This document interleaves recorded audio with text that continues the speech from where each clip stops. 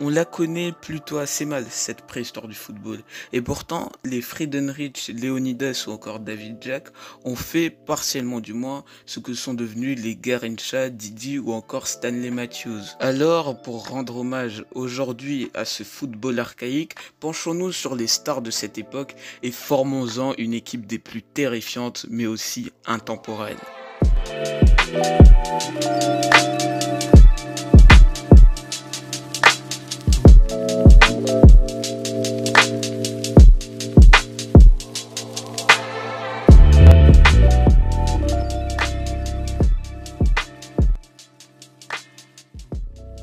Entre les perches, qui d'autre que Julia Grosic pour garder les cages de notre Wonder Team.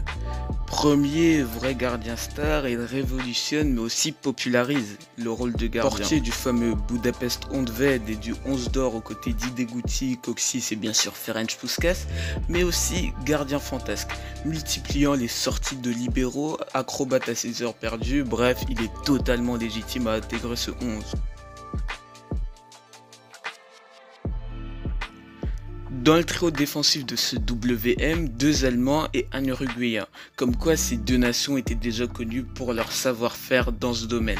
José Nassasi donc est le joueur de la Céleste dont je parlais. Surnommé le Grand Maréchal, il est certainement le meilleur défenseur sud-américain de la première partie du XXe siècle. Et il pourrait pourquoi pas prétendre avec Elias Figuera et Carlos Alberto au rang de meilleur défenseur du siècle du côté de l'Amérique latine. Pour le coup, son titre de vainqueur de la Coupe du Monde 1930, vainqueur du Championnat du Monde 1930 et vainqueur des JO 1924 et 1928 plaide plutôt en sa faveur.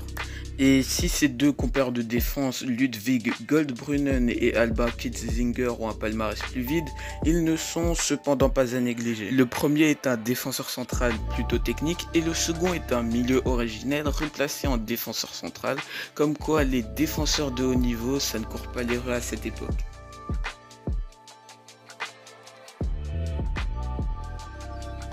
Un peu plus haut, le choix fut beaucoup plus difficile, mais deux joueurs ont particulièrement retenu mon attention. En premier lieu, José Andrade, considéré souvent à tort comme le premier grand joueur noir de l'histoire, il ne l'est pas tout à fait, la faute à un certain Arthur Friedenreich ayant éclos bien plus tôt. Néanmoins, un grand joueur, ça, il l'était. Élégant, à l'aise balle au pied, la merveille noire ne faisait qu'un avec le ballon et émerveillait partout là où il passait. Et il ira même jusqu'à charmer par son style de jeu, ou bien plus encore, Colette ou encore José Joséphine Baker. Bref, la merveille noire reste sans conteste le meilleur milieu que l'Uruguay ait produit. Et en guise de compère dans cet entrejeu, Alex James accompagne José Andrade. Et si Andrade était magique, Alex James l'est peut-être moins, mais son jeu reste tout bonnement génial. Souvent comparé à Denis Bergkamp, l'Écossais est un joueur intelligent, créatif, et dans le poste d'Inter, son coéquipier Gunners David Jack a facilité mon casse-tête. Légende de Bolton et d'Arsenal, il inscrit plus de 100 buts en moins de 300 matchs dans ces deux équipes. Cependant, l'Inter brille beaucoup moins sous le maillot des Tri Lions. Et si Jack peine à briller sous les couleurs de sa nation, c'est tout l'inverse de Matthias Sindelar qui a fait avec Franz Binder et Hugo Meissel la renommée de la Wunder Avec Giuseppe Meazza, c'est peut-être le nom le plus redondant lorsqu'on évoque cette période du foot et ce pas sans mérite. Car lorsque Mozart jouait pour la nation, son orchestre ne faisait jamais de fausses notes et surnommé l'homme de papier, son surnom lui va si bien parce que oui, son physique chétif rappelle celui d'une feuille, mais de l'autre côté, ses exploits faisaient couler beaucoup d'encre. Mais en soi, jamais rien n'a plus coulé que les larmes des Autrichiens après sa mort en 38, la faute à un refus de jeu pour la Mannschaft du Troisième Reich.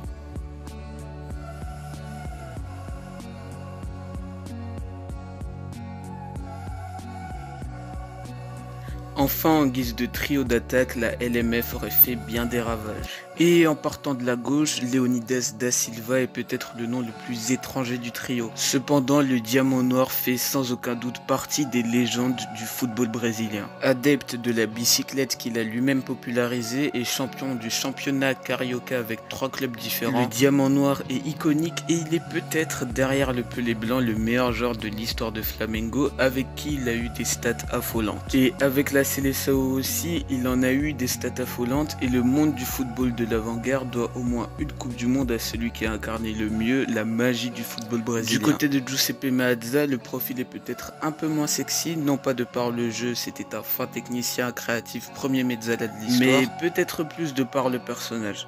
Adhérent au parti fasciste de Mussolini, joueur de l'Ambrosiana, équipe plutôt controversée pour ses penchants justement fascistes. Il rattrape cela en partie avec la mentalité de l'époque où le fascisme était de norme en Italie, mais aussi grâce à son talent. Vittorio Pozzo déclarait à son propos qu'avec lui on partait déjà avec un but d'avance. Bref, un des meilleurs footballeurs italiens de l'histoire, voire même le meilleur pour certains, et sans contestation le meilleur joueur de l'histoire des Nerazzurri. Pour clôturer, qui d'autre que le compatriote de Leonidas, Arthur Friedenreich? Pionnier du football Roga Bonito, joueur puissant, grand dribbleur, il est avec Leonidas le symbole des prémices du football brésilien. Mais il connut malheureusement une fin tragique, que ce soit dans sa carrière, Indigné par la professionnalisation du football au Brésil, il sonne son propre déclin en boycottant le football dans son pays dans les années 30. Ou dans sa propre vie où il débourse tout son argent pour soigner son Alzheimer dont il meurt finalement en 1969.